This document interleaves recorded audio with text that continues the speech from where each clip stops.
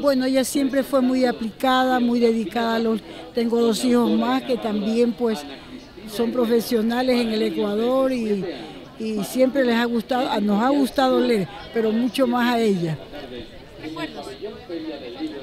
Bueno, los primeros libros que, que me gustaba leer era justamente para aprender idiomas.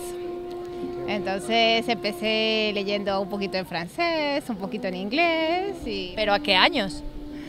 Pues así como con 10 añitos, 11 añitos. Y, y luego, bueno, el español. Entonces siempre leo un poco, me relaja muchísimo. ¿En cuántos más idiomas lees? Es en cuatro o cinco. ¿Buscas el, el, libro en su, en su origen, en su idioma materno siempre que siempre, puedes? Siempre, siempre, siempre. ¿Y las traducciones qué te parecen?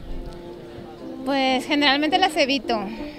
Generalmente las evito. Me gusta, si conozco el idioma, leer en el idioma original. Entonces, como tengo la oportunidad de viajar en Europa, casi siempre me compro el libro en versión original. Cada vez que uno lee, se da cuenta que tiene más mundo por descubrir. Así que